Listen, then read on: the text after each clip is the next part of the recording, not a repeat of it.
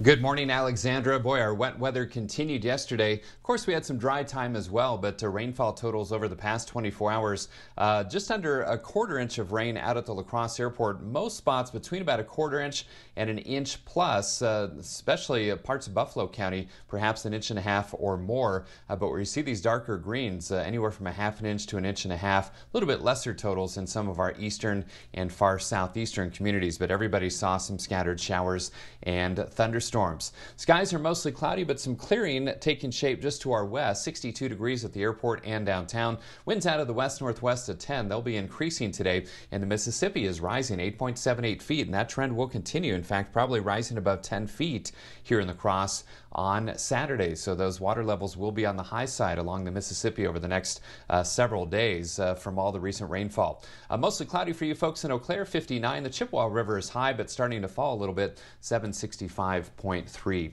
Uh, current temperatures in the low to mid 60s near and east of La Crosse, uh, where that uh, humid air is being pushed to the east, mid 50s to the west in Rochester and Preston. Here's what I'm talking about about the dew points. Still in the mid 60s to our east, but some drier air, low to mid 50s for dew points, moving in from the west behind that cold front. So some more comfortable air is moving in for today. It's going to be less humid with dew points generally in the lower to middle 50s. Uh, winds currently from the west at around 5 to 15 miles per hour, but they'll pick up 10 to 20, maybe gusting uh, 30 plus miles per hour in some areas to the west of the Mississippi River. So those rain showers uh, starting to shift east and out of our viewing area, and you can see the clearing line knocking on the door uh, here in La Crosse as that drier air moves in behind this cold front.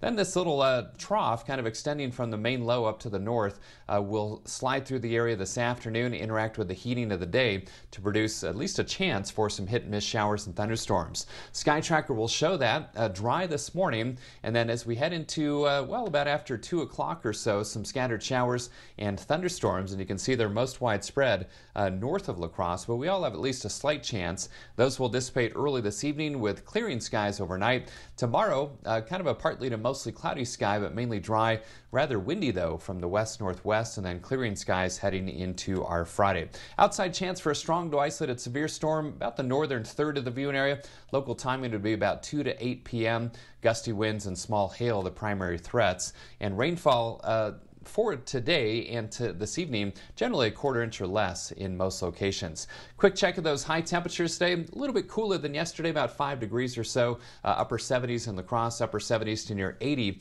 in our southern communities. More of the same as we head back to the north, generally mid to upper 70s uh, in most locations. So for today, 79, breezy and less humid. Chance for some hit and miss showers and thunderstorms this afternoon and early this evening.